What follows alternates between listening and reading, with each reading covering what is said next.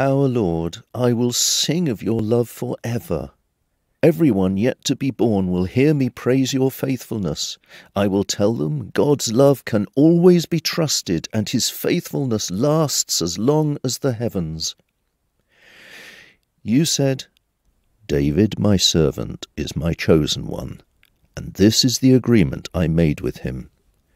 David, one of your descendants, will always be king. In a vision, you once said to your faithful followers, I have helped a mighty hero. I chose him from my people and made him famous. David, my servant, is the one I chose to be king, and I will always be there to help and strengthen him. No enemy will outsmart David, and he won't be defeated by any hateful people. I will strike down and crush his troublesome enemies. He will always be able to depend on my love, and I will make him strong with my power. I will let him rule the lands across the rivers and seas.